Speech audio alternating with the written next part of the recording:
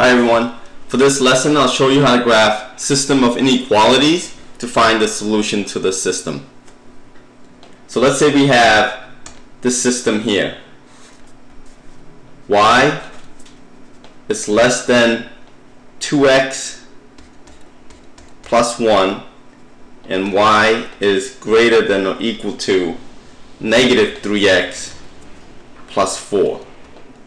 Okay, so this is our system of inequalities that we're going to use. Alright, so let's graph these inequalities on the coordinate plane. I'll circle this using the blue color. So let's say we start at 1. We go up 2 over 1, up 2 over 1, up 2 over 1. Okay?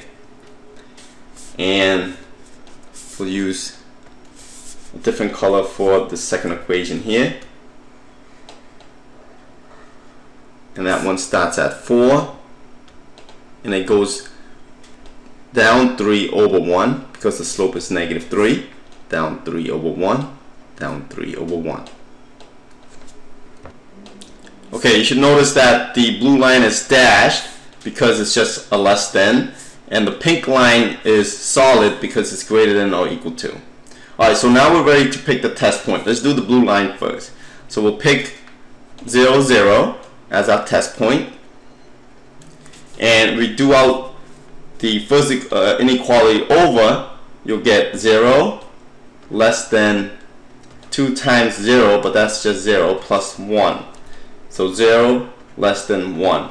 And 0 is less than 1, so that's true. So if it's true, you shade the side with the test point. So I'll shape this side here.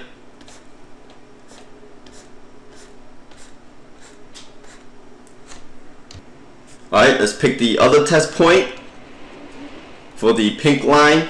So we'll plug in 0, 0 again. 0 is greater or equal to negative 3 times 0 plus the 4. So that reduces to 0.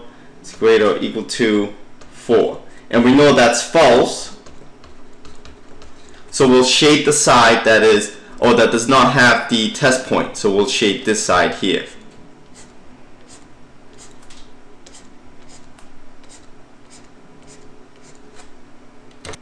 Okay, so the final solution for the system of inequalities is where the two colors overlap. So let's highlight that right here.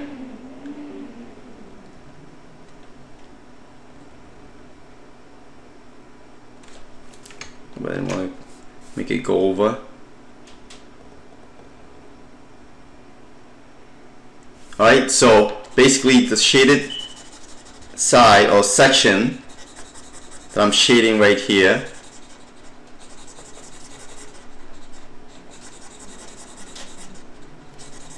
is the final solution for the system of inequalities.